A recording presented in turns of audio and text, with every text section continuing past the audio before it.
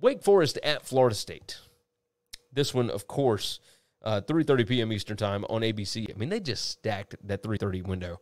Just stacked it. I mean, unbelievable. Going to pull it up on the screen here for you. Wake Forest, uh, of course, played incredibly well against Clemson last week.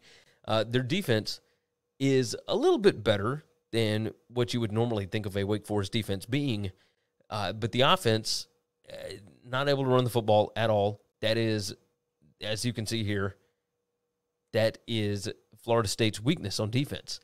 Uh, as far as passing goes, I mean, Florida State's defense not great, but even what Wake Forest is doing on offense is nothing compared to what Florida State is doing on offense. Uh, Florida State's offense is surprisingly good. The number here is seven. Uh, I've got it at 5.87.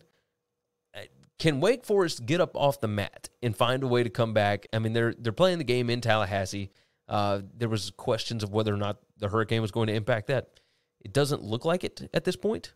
So, eh, I I think I'm going to ride with my numbers here. I think Wake Forest can keep this within a touchdown.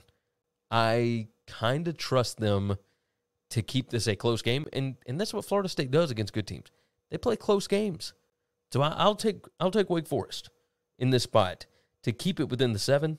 Uh, I don't know that I would like it at six and a half or anything like that. I mean, it, if you made me pick a side, I'd probably still go Wake Forest.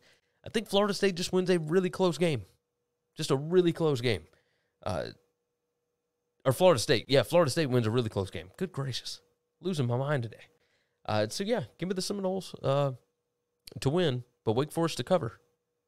Wake Forest plus the seven here. Thanks for listening to Winning Cures Everything. Make sure and subscribe on YouTube or your favorite podcast app, and make sure to leave a nice five star review.